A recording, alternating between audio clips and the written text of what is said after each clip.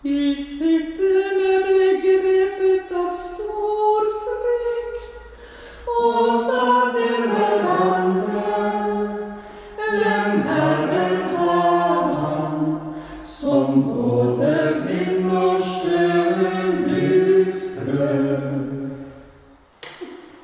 Ja, hva i alle dager holder vi på med her? Vi spiller inn tidebøndene. Først og fremst de fire ukene i det alminnelige år. Og kanskje mer etter hvert, når vi har overskudd. Men det er jo mye vi skal gjennom, ikke sant?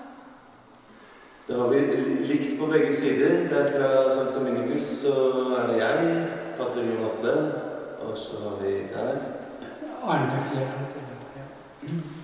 Pater Håvard Simon Nilsen. Og fra Katarina var det var meg, søsteren Bente, Søster Agne Marie. søster Marte. Den som kjennes med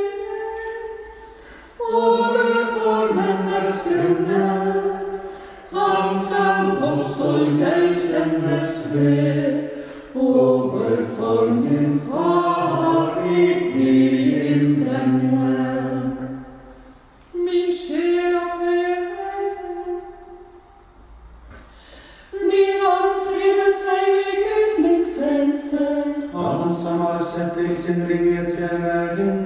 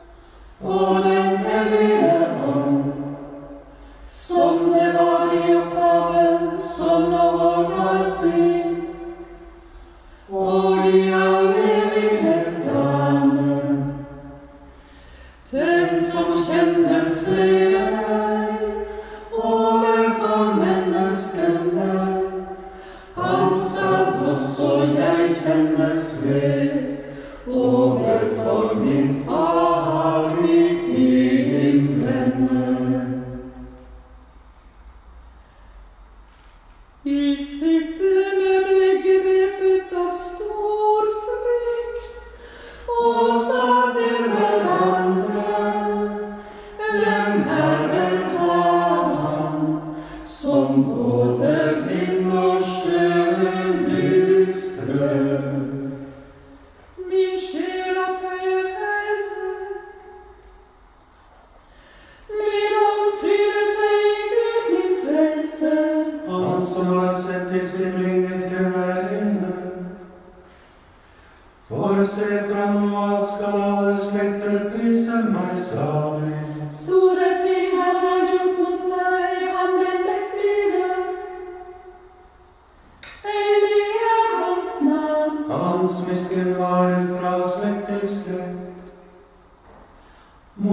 sanctam cryptem am. Adiuris tu regnes in stecte am. Ans petem somnic meamus sancer. Ans ente asceren et fratrum.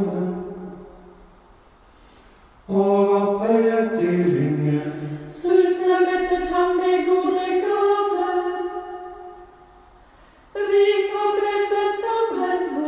Antus Og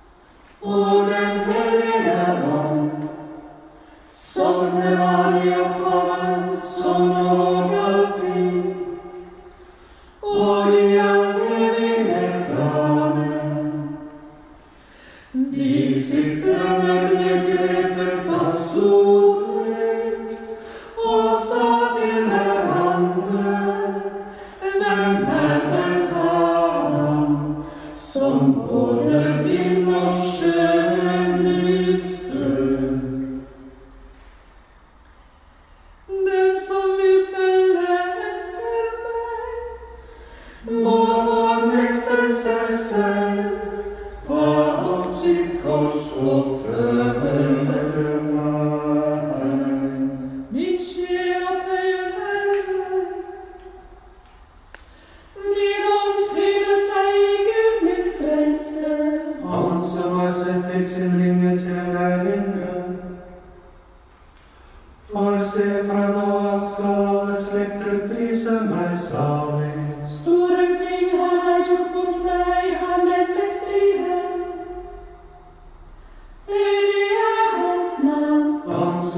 miskunn varer fra slekt til slekt.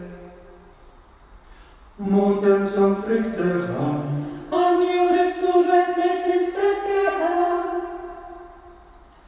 Han spredte dem som gikk med ham og sanker. Han støtte herskere ned fra tronen. Og opphøyet de ringer. Sultne mettet han med gode gaver.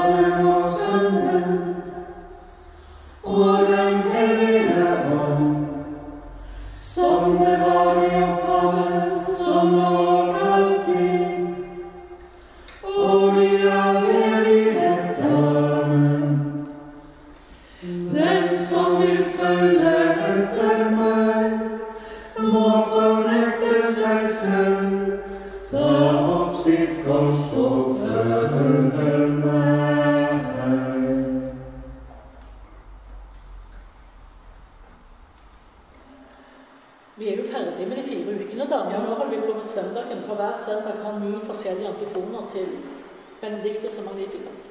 Og A, B og C. Ja.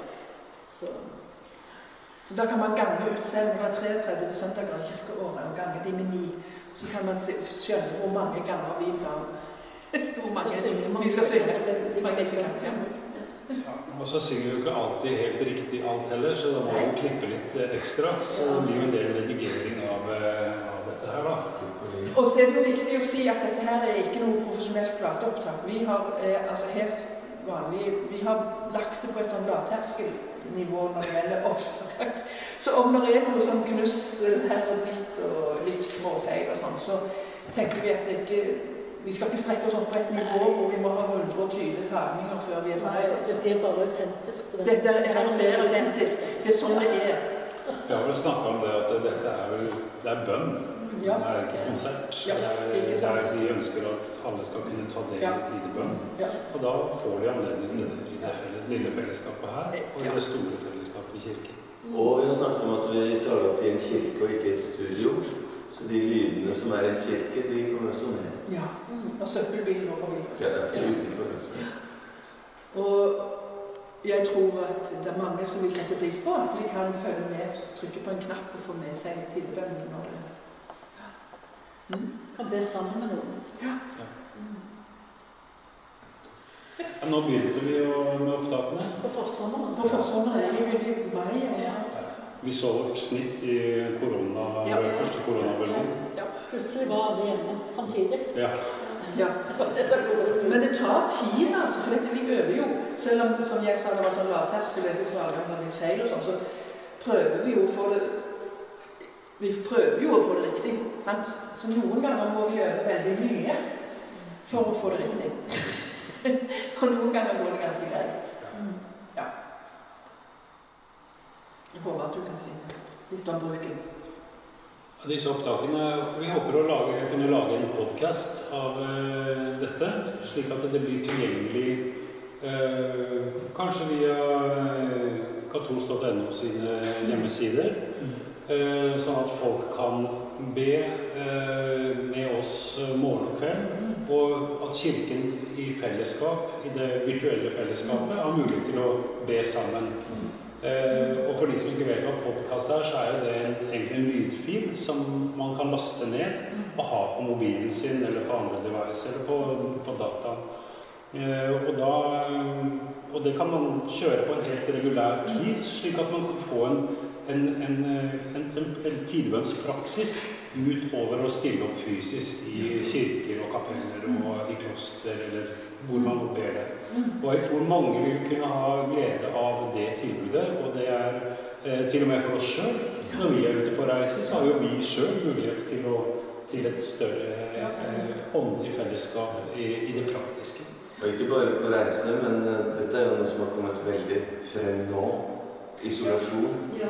At vi kan uh, bruke de hjelpemidlene vi har for å faktisk gjøre ting sammen som kirke. Ja.